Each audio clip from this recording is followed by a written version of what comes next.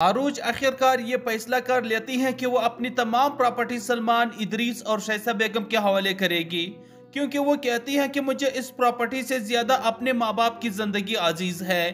میں اس دو ٹکے کی پراپرٹی کی خاطر اپنے ماں باپ کو مزید اذیت میں نہیں ڈال سکتی۔ اسی لیے وہ سلمان کو کال کرتی ہے اور اسے کہتی ہے کہ سلمان، تم میری تمام پراپرٹی کے کاغذات بنوا کر میرے پاس لاؤ۔ میں سائن کر لوں گی، لیکن اس کے بدلے میں تمہیں میرے ساتھ ایک وعدہ کرنا ہوگا۔ اور وہ یہ کہ تم اس کے بعد میرے والد کو کوئی نقصان نہیں پہنچاؤ گے جس پر سلمان کہتا ہے کہ پہلے تم اپنی پراپرٹی تو میرے نام کرو، پھر سوچوں گا اس بارے میں۔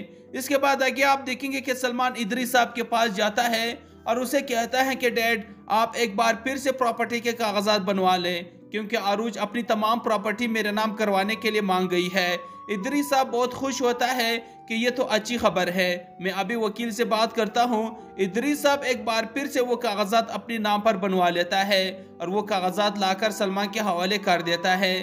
سلمان بہت خوش ہوتا ہے کہ وہ عروج سے سائن لے کر وہ عروج کی تمام پراپرٹی کا اکلوتا وارث بن جائے گا۔ لیکن ان کا یہ خواب خواب ہی رہ جاتا ہے۔ دستخط وہ عروض سے لے لیتا ہے اور پھر وہ کاغذات لا کر ادری صاحب کو دے دیتا ہے اور اسے کہتا ہے کہ ڈیڈ میں نے عروض سے سائن لے لیا ہے اور اب میں عروض کو ایک پل بھی اپنی زندگی میں برداشت نہیں کروں گا، اسے طلاق دے دوں گا۔ جس پر ادری صاحب کہتا ہے کہ بیٹا، کچھ دن صبر کر لو، یہ قانونی کاروائی ہونے دے۔ پھر اس کے بعد جو مرضی کرنا کر لینا۔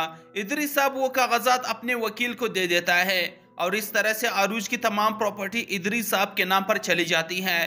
جس کے بعد ادریس صاحب اپنی دوسری بیوی کو لے کر اپنے گھر میں آ جاتا ہے۔ شائستہ بیگم ادریس کے ساتھ مسرت کو دیکھ کر آگ بگولا ہو جاتی ہے کہ یہ عورت یہاں پر کیا کر رہی ہے۔ اسے نکالو اس سے، اس گھر سے، ورنہ مجھ سے برا اور کوئی نہیں ہوگا۔